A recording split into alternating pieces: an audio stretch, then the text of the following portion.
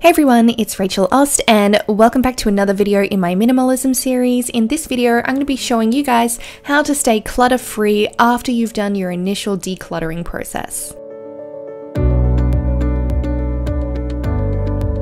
My first tip is to stay inspired and there's a few different ways that you can do this. One way that I've been loving lately is this app that I found. So if you go on the App Store and you search for Minimalism Amino, it'll bring up this app. And what it is is basically like a small social network in itself. And you can sit there and find other posts that are inspirational. I was going on there and asking you guys questions. I've been throwing up a few posts myself. Um, you can see here, I'll show you some of my favorite little things that I've come across lately. So there's skincare, there's tips from other people. And it's good just to be able to talk to like minded people who are going through the same process and you can get ideas and tips off them as well.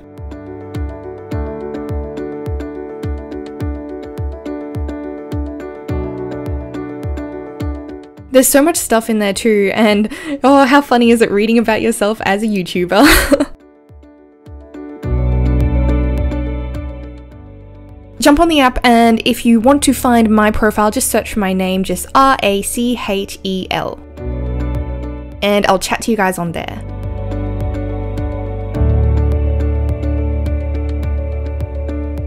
My second tip is to focus on why you started the decluttering process in the first place. So, for me, I find personally it means that there's slightly less cleaning. I have more time to relax rather than just cleaning all the time. Um, maybe it's that you want to be more organized or you just want to discover what is important to you.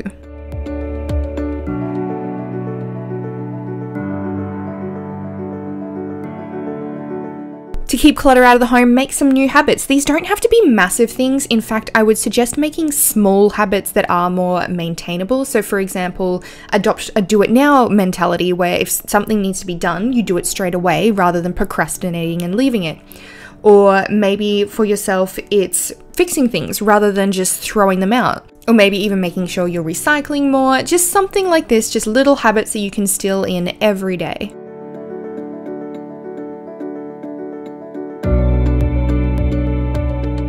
This one's pretty important, and that's to shop carefully. So, something that I like to do personally is have questions for myself. So, for example, if I'm buying clothing, some questions that I'm going to ask are one, do I actually need this? Two, am I going to notice if I don't own it? Three, am I actually going to wear it regularly?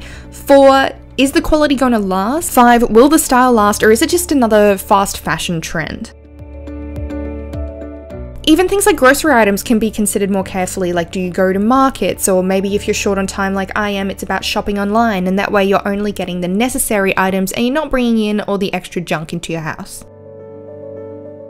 Manage your sentimental items. So, I know this one's difficult for a lot of people. I don't have any myself to even show you guys in this clip, but take a camera, take some photos of the items, and that way you've got the photos forever. It's worth figuring out are you more attached to the item itself or just the idea of it?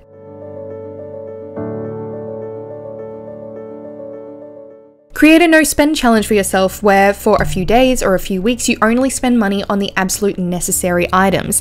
This will help you get any excess spending under control and it will help you stop bringing extra items into the house that you don't need.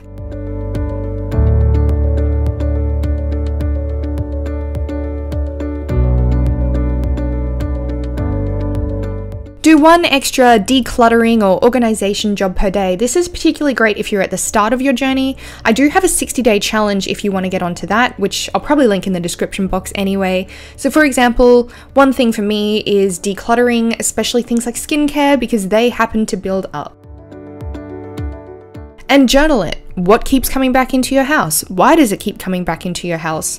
So, as with my previous example, it's skincare, and that's because I've had skin problems, and so I try out different products and all of that sort of thing. So, that's where I know that I have to get that area under control. Look at what's happening regularly and figure out how you can solve it. I hope you guys enjoyed this video. Don't forget to check out the rest of the minimalism series in the playlist in the description box, and I'll catch you all in my next video. Bye!